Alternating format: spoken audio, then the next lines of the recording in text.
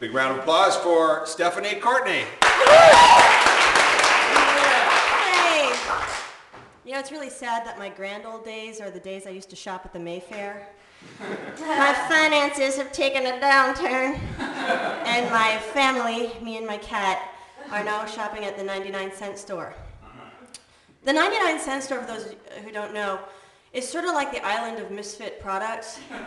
It's like you walk in, hi, Cinnamon Coke. wanna, wanna try it out? It's like, all right, well, only a dollar and I do have to drink. Hi, I'm a can of scallops that's been on the shelf for two years. Anyone want to take a chance? No. Hi, I'm a bear kind of cat doll with a t-shirt that says you count at Washington Mutual. Can I be your special friend? Sure. But I kind of relate to those products because, like them, I, uh, I'm on sale and I'm marked down. Ladies and gentlemen, any takers? I'm, I'm a single lady and don't adjust your TV.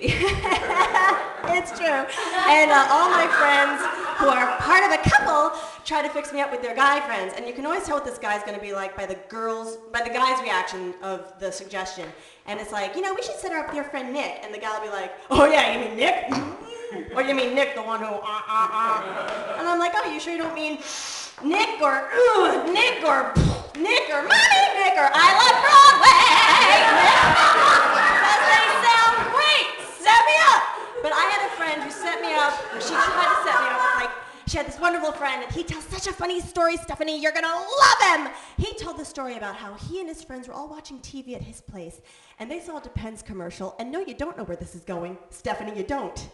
And so they all run across the street to the Rite Aid, and they buy Depends. They go back to his place, put them on, and go to the bathroom in their own pants all day long. and I'm like, I'm so. Did you just tell me that uh, that he has his own TV?